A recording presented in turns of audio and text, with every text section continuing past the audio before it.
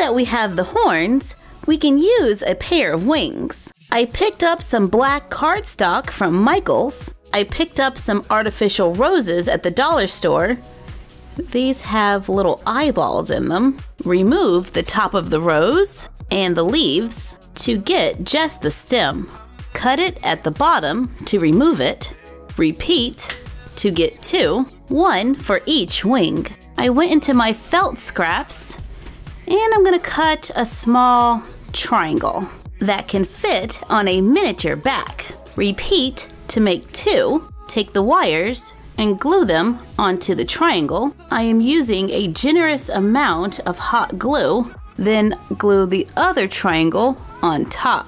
Take another piece of felt, place the wire on top, fold over the felt and glue it down. Firmly press down the felt around the wire to seal it in. Trim off the excess felt to make the base for our wing. Repeat on the other side.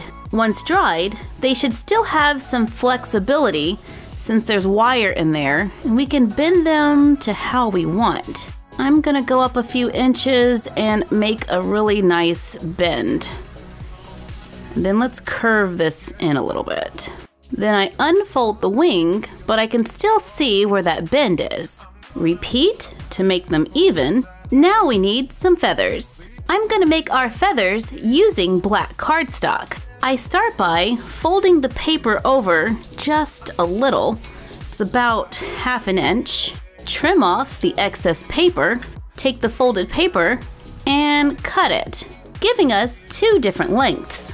On the folded edge, cut a very thin line right next to that fold, then go out a little, straight up, and then curve it back over towards the fold.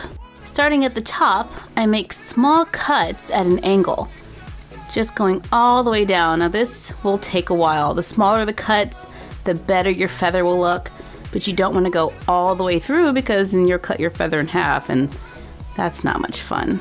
You do want to go pretty close to the center line, but not too close because if you have more center line, the feather will be a little more sturdy. So it's kind of like a little balancing act here as we cut all these little lines going down the feather. After you've cut your lines, open it up to make a feather. Repeat for the smaller one.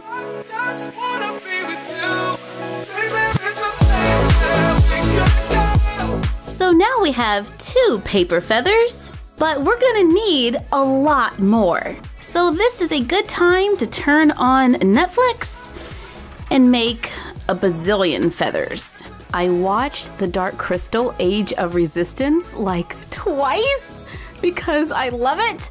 I love puppets, I love The Dark Crystal, and I think they did such a great job with that series. If you haven't seen it, you totally should because it's amazing. The artwork, the beautiful sets that they build, it's just wow. But if you're scared of puppets, so you know, yeah, okay, I understand. Anne with an E is also a good show, waiting for season three to uh, launch on Netflix. Been waiting forever. What's your favorite series right now? Since we're talking about Netflix and all, since we can't do anything else while we're cutting all these little feathers out. This is going to take a while, but thanks to movie magic, it's raining feathers. I hope this is enough because this took me like two days. Take the felt, pick out the longest feathers, and begin gluing them on. Depending on how far you let the feathers extend, it's gonna make the wings a lot bigger. I'm using hot glue to attach the paper feathers to the felt, trimming off the ends of the feathers where needed. To try and keep it symmetrical, I'm gonna do both wings at the same time.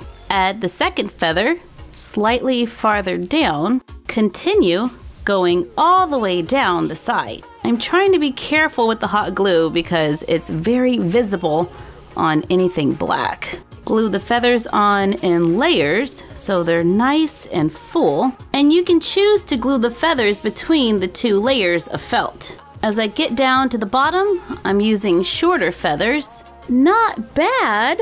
We definitely have some gaps we need to fill in. But so far, so good. Definitely need to fill in right there. And here. Now let's start on a second row using shorter feathers.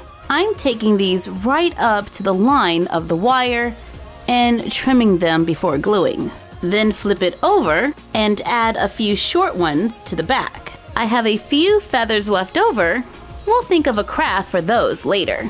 Now we need to finish off the top of our wings. So I fold the cardstock and cut it to make a really long feather. Cut the lines at an angle Take the large feather and glue it right onto the top edge of the wing. And I just wrinkle them up a little bit. Take black elastic and glue it onto that center triangle to make some straps. I'm using hot glue to glue them onto the back. Use some of the leftover feathers to cover it up. I'm gonna try this on my Integrity Toys doll. And it works! Whoa, we have some pretty large wings there. And I'm thinking since they have wire in them, we should be able to bend them. Well, a little, kinda sorta. The paper gets a little wrinkled. Add our Maleficent horns for a little miniature Maleficent cosplay. Now we could add some small horns onto her wings just like we did to the headband, but I'm gonna leave them off so our wings are pretty versatile for other costume ideas. Oops, they're kinda heavy.